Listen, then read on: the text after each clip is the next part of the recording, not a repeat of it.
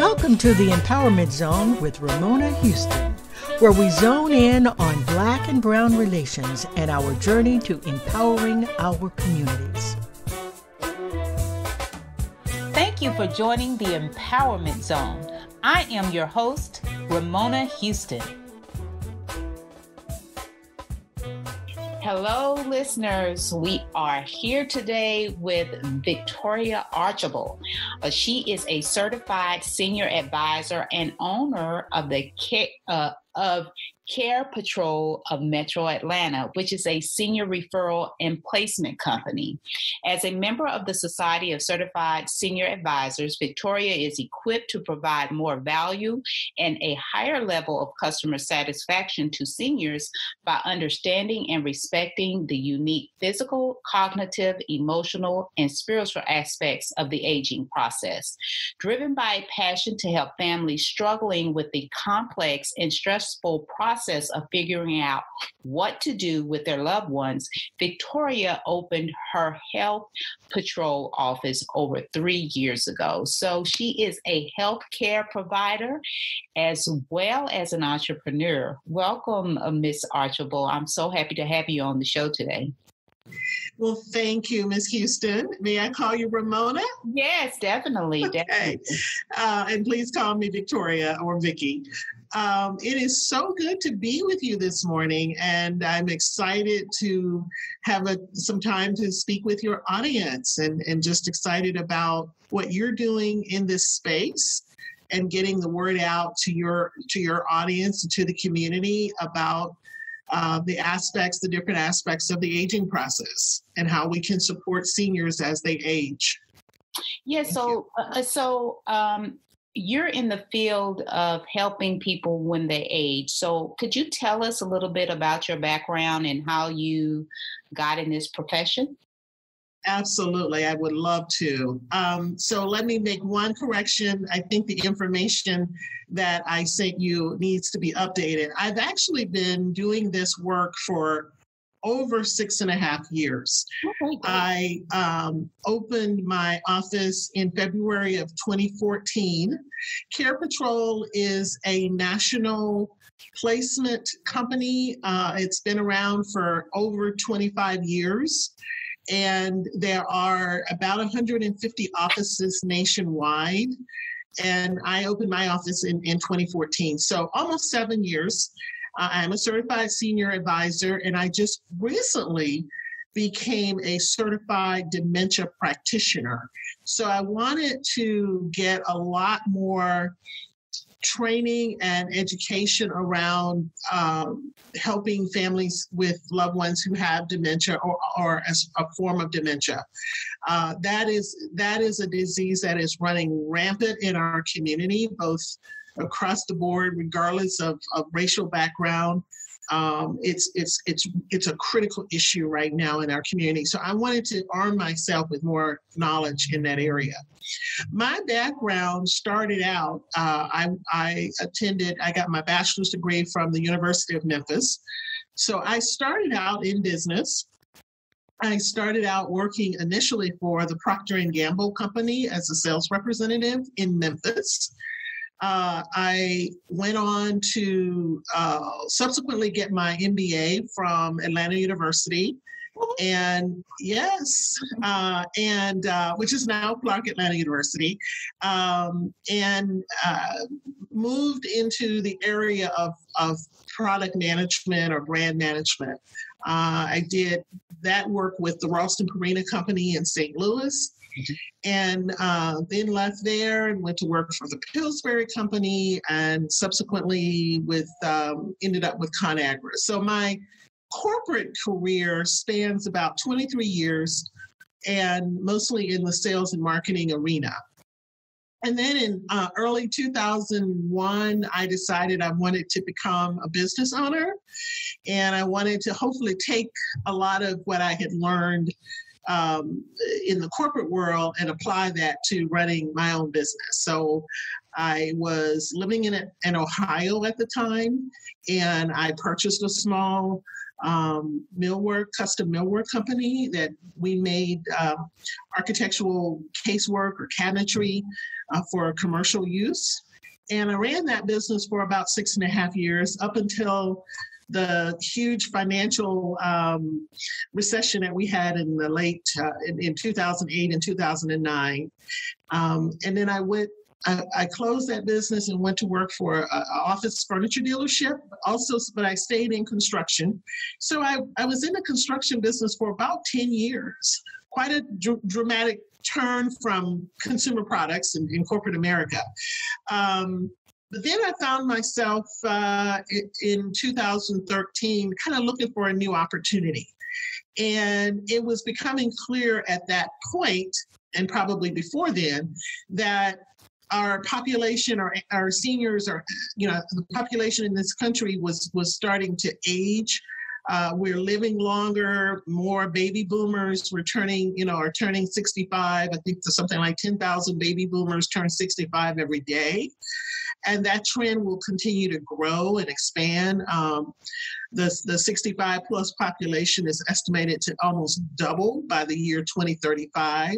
So, for a lot of reasons, I felt like this was an industry that really had a lot of opportunity uh, for a business or to get into business. And so I found Care Patrol through a franchise broker, and uh, it it met a lot of the things that I was looking for. I you know I checked off checked off a lot of the boxes that I had as far as a business. And I uh, subsequently purchased a franchise and I moved here to back here to Atlanta. I had lived in Atlanta twice before, moved back to Atlanta and opened my business in 2014. So that's that's kind of a long explanation for, to how I got here. Yes, and it tells uh, you know uh, about your background and skills in business and why you would be interested in uh, being a franchisee of Care Patrol. Mm-hmm. So, can you uh, talk about some of the challenges that exist? Uh, we, as you know, we're focused on the African American and uh, Latino American experience and the empowerment of our communities. What are some of the uh, themes that you find in terms of our experiences with aging and the challenges mm-hmm. we have and why the services you provide are so important. And then, secondly, what should our communities be planning for? How should we plan? You know, uh, what are the solutions that you would give our community for um, dealing with the issue of aging? Yes. So the issue, or I'd like to say the opportunity of aging really crosses all racial barriers or crosses all ra- racial uh, um, barriers. Uh, it's not it's not a, a situation that's unique to African Americans or Latinos. However, I think African Americans and Latinos have a unique situation in that and I and I and I honestly I don't want to speak as an expert for the Latinx community because I'm not an expert. I am African American, and about half of my clientele is African American. So I'll kind of focus most of my comments on on the African American community and what I've what I've seen, what I've observed, what I've witnessed over the last six and a half years. Um, we and, and and honestly, none of this information is new, but we do tend to have and occupy a large percentage of what I will call the the the you know one of the five chronic healthcare uh, comorbidities that that we see across the, the nation: heart disease, uh, diabetes, kidney disease, high blood pressure, and and of course, I probably dementia is has has started to is probably occupies the fifth area in that in that in that group. Um, so we are we are more prone to be challenged with those really chronic healthcare concerns and issues than say our Caucasian brothers and sisters. So we so we start out we you know we're more likely to have diabetes. We're more likely to ha- suffer with high blood pressure or heart disease, cardiovascular disease, and we tend to have um, more challenges just accessing the healthcare um, arena. You know, whether it's because we don't have good healthcare insurance or we don't have access to good healthcare insurance, whatever the, the case may be, we t- or we just don't take the time to, to, to go and get the regular checkups and and, and do those things that to, to keep to manage you know our our health we tend to be and i would say we overuse the healthcare system you know based on you know as a percentage of of, of the entire population. Having said all that i think that one of the things that we see in what i do and, and let me just say we strictly what what our our sort of you know stake in the ground is is to really try to assist families in finding the right care for their loved ones, for their aging parents or their aging uh, loved ones. So that care may be uh, placed out of home in an assisted living community or a personal care home or in a memory care community, or it may be uh, helping them access in-home care where they where the, the their loved ones stay in the home and the care comes into them. Either way, um, what I often find is we don't we don't necessarily we being African Americans don't necessarily start planning early enough for our you know, for the care that we will need as we age. And we all know that as we age, you know, things are going to change. You know, our health is going to change as we age we're either going to have some some physical health challenges or some mental health challenges, i.e., dementia. So what I'd like to say to your audience, if, if they don't take anything away from what I from what we talk about today, is if you're in your 20s, 30s, 40s, 50s, it's never too early to start putting a plan in place. And what does that plan look like? Well, first of all, we need to have a designated durable power of attorney. If we are a parent or, or sibling, uh, we need to have someone designated as a power of attorney. Why is that important? Because as we age, if no one is designated as a power of attorney, there are limitations to the help that you can get. In other words, you know, the healthcare the healthcare industry, honestly, because of HIPAA laws, aren't really required to have a conversation, even if you are a spouse or, or, or an adult child, about your parent's health situation if you're not, if you do not have a medical power of attorney. So that's the first thing I tell people when I when we have conversations. What I often see too is when when we start talking to families or the adult children, a lot of times their parents have some kind of cognitive deficit whether it's dementia or schizophrenia or bipolar disease, whatever it is, mostly it's dementia. Um, once that process starts to happen, technically, that person isn't legally able to sign any kind of document. So if you don't have a power of attorney in place prior to that that disease taking hold, then it's going to be difficult to get it done after that. So please, please, please, your audience, please, and, and, honestly, I don't care what age you are, everybody should have a durable power of attorney in, in place. But that's one of the first things. And, and really, before that, it's just the whole idea of sitting down with somebody. If you are a parent, and uh, you're you're you're becoming more uh, you're, you're you know you're coming moving into the retirement years or the aging or, or getting older sitting down with your adult children and talking about what your your wishes are you know? I mean we're all going to get older if we're blessed to live. We're all going to get older. It's not it, it's not it should not be um any it, there should not be the difficulty around having the conversation. You know what do you want you know how do you want to see your how do you want to live your retirement years? Do you want to live at home you know, for most people, they want to live at home, and that's perfectly understandable and that's perfectly fine. But what do you need to put in place in order to make that that that doable and and safe.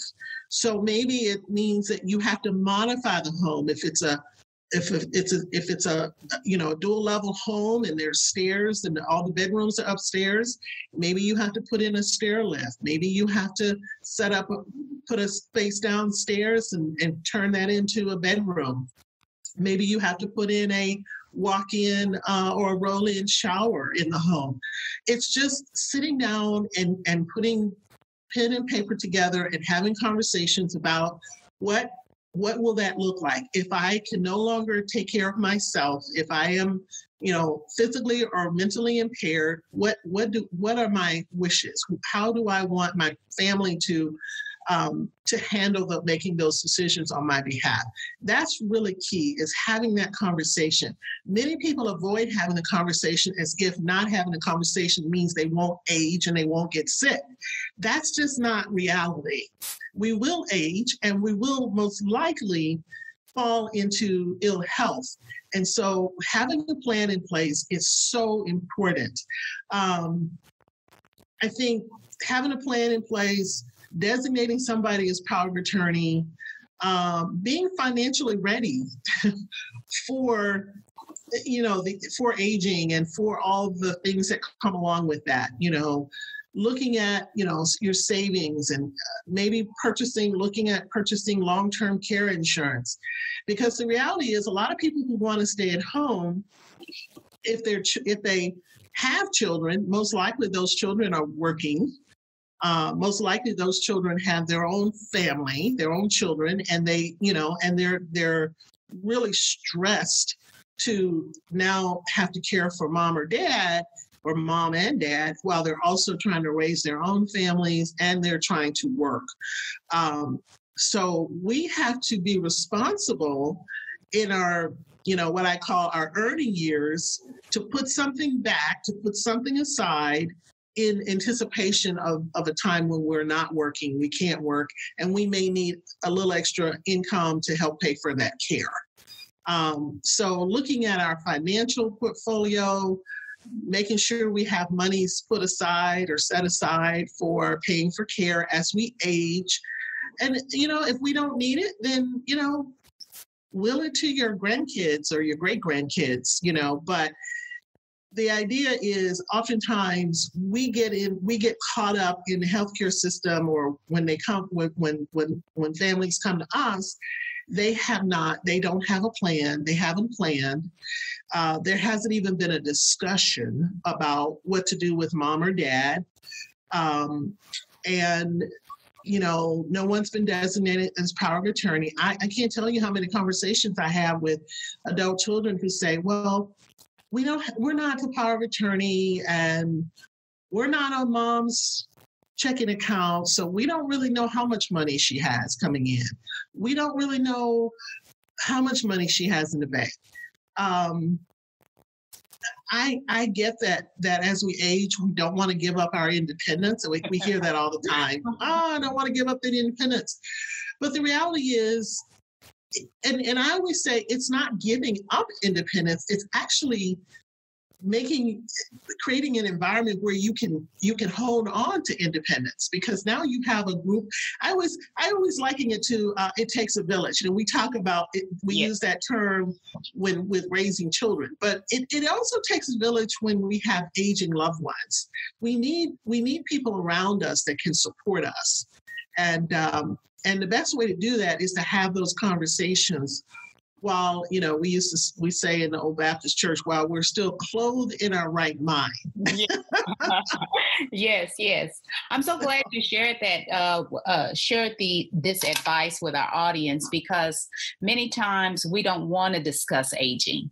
No. and we don't and because we're all consumed with our other priorities that tends mm-hmm. to be put in in the background and you talking about how we need to have multiple types of, of support and resources right mm-hmm. financial mm-hmm. resources and like you said the community your family yes and yes. It, so that you can live the type of lifestyle you want to live exactly because a exactly. lot of times people are forced into situations where they don't want to be, but they they correct. haven't created any options. So you're That's correct. educating us on how do we create options, and then simultaneously talking about you know we need to deal with our own health care right yes so that we don't yes. have these uh um chronicle uh, i mean cr- cr- um critical health problems you know as we grow older yes you know? Chronic yes. health problems excuse me chronic health yes and um and and also uh, that we also need to to really learn how to navigate through the healthcare system. That is um, correct. And, and that is correct. we can have the, uh, you know, the type of healthcare that we need to support us. So I really, I enjoyed our conversation. This was a great conversation. If any of my audience would like to get in touch with you, uh, how would they get in touch with you if, if they wanted to uh, use, use your services uh, in terms of the Care Patrol? Absolutely. So my phone number is 404 583 1231. And our website is www.metroatlanta.carepatrol.com. Um, they can email me at v Archable, that's V as in Victoria, A R C H A B L E, at carepatrol.com. Yes. Thank you. And uh, her information, her website will also be on my website uh, uh, on Podbean if you want to contact Miss Victoria Archable. Thank you so much for joining joining us today. It was thank you, Ramona, you and teaching us all about the aging process and how we can become more empowered as we grow older. Thank you. Absolutely. Thank you very much.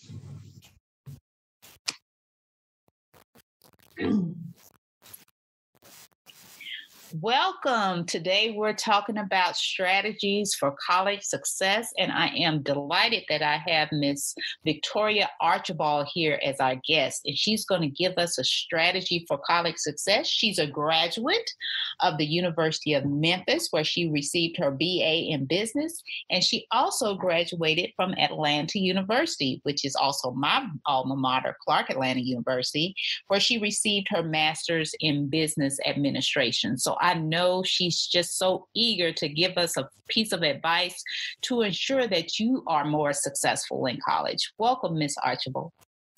Thank you, Dr. Houston. It's a pleasure to be with you this morning and to speak with your audience.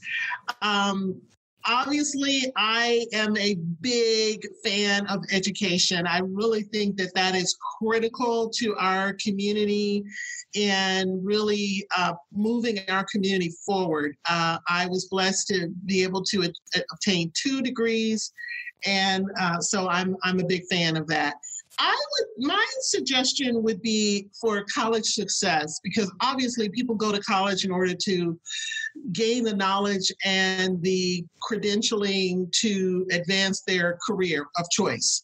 Um, so one thing I would recommend if you're in college is while it's important to um, get good grades and attend classes and do all the things that that that will ensure your success in getting your degree, it's also important to have extracurricular activities in your experience, in your college experience. When I was an undergrad, I decided that I wanted to pledge a sorority.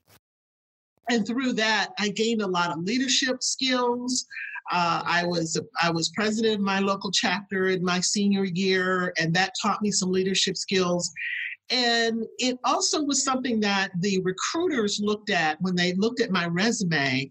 I could demonstrate that I had been a leader while I was matriculating in college. So I, you know, sorority Greek life is not for everybody, but I would encourage your audience to find something in during their college uh, experience that they are interested in, passionate about, and get involved because again, recruiters look at more than just the coursework and your grades. They also want to see how active you were while you were there, if you had any leadership positions in any organizations. Um, and I think that's that's important to have along with the grades and and the coursework. Yes. So thank you for that advice. Participate in extracurricular activities. They are so important to your development as a leader. Thank you, Ms. Archable. Thank you. A special thank you to the incredible team of the Empowerment Zone. Terry Gully, theme song, NADWorks, digital support, and of course, our featured guest. If you enjoyed my podcast, please subscribe. We are on all of your favorite podcast platforms. Be sure to rate us on Apple Podcasts too. Thank you for your continued support.